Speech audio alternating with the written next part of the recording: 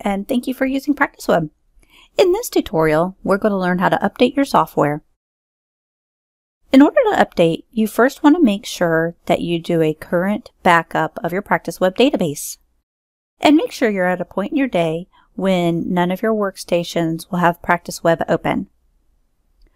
Once you've done your backup and you have closed your workstations from PracticeWeb, on your server, you're going to go to the Help menu and click on Update. You can find the instructions for the current update on our website. If you go to www.practice-web.com, you can click on Resources and Upgrades. And you can find the upgrade instructions here. Once you have the upgrade instructions, make sure you change the update code to whatever the current version number is. And go ahead and click on Check for Updates.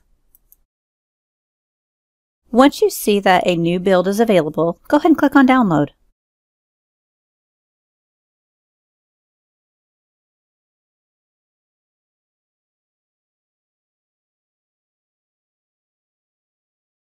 Once the download has succeeded, go ahead and click OK If you're current on support, you should have received an email with the installation password. Please notice that as you begin the installation, the practice PracticeWeb software will automatically close. That's okay because the installation will continue.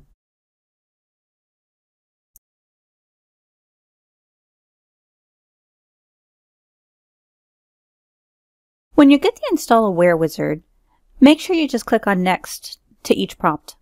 Please read the user license agreement and then click on I accept terms.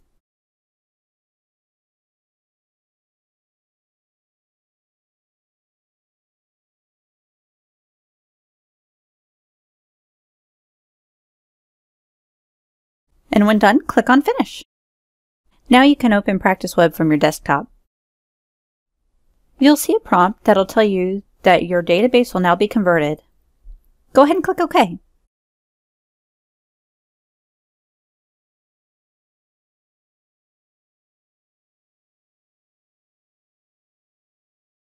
Once you see that the database update is successful, go ahead and click OK.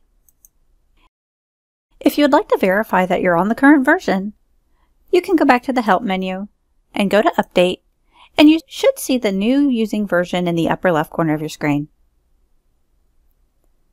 Now, if you have any workstations in your office, make sure that you go to each workstation and try to open PracticeWeb. It'll ask you for the installation password again. Once you type in the password, it should automatically update the application for you. You need any assistance with the process of upgrading your software, please don't hesitate to give our support a call at 1 800 845 9379, option 2.